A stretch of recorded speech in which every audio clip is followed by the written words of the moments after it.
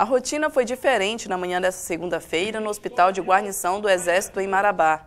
Vestidos de branco ou mesmo com o fardamento habitual, os militares reuniram para comemorar o Dia do Serviço de Saúde na instituição, que é o dia 27 de maio. O setor é responsável pela assistência médica para os membros do Exército Brasileiro e de seus dependentes. Os militares dessa área trabalham como médicos, dentistas, farmacêuticos e enfermeiros. Mas apesar de instalações próprias para os atendimentos, esses militares atuam em diversas outras situações. Nas missões de paz, eles são essenciais. Em Marabá, o hospital está localizado na Vila Militar Castelo Branco, na VP8. De acordo com o diretor médico do Agagumba, a comemoração é de grande importância. Bastante alegria, digamos assim, né? estamos comemorando não só nossos trabalhos diários aqui no hospital, né? esse atendimento diuturno aos nossos militares, seus dependentes, mas também é, em memória da, do nosso patrono, né? do general de brigada João Severino da Fonseca.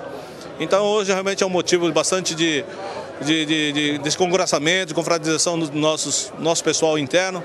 Né, e juntamente com todos os nossos convidados. A foto do patrono do Serviço de Saúde foi exposta durante a cerimônia.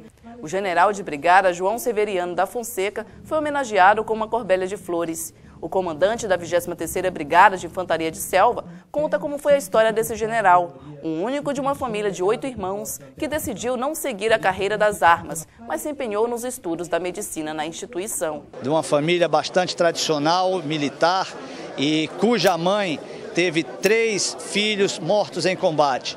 E ele participou dos combates durante a Guerra do Paraguai e como era médico, ele também fez a parte toda de medicina, além da parte combatente. Por isso é muito importante para nós reverenciarmos a memória deste grande militar e que é o patrono do Serviço de Saúde do Exército Brasileiro. Na solenidade ainda foram homenageados militares que prestaram bons serviços na área de atuação.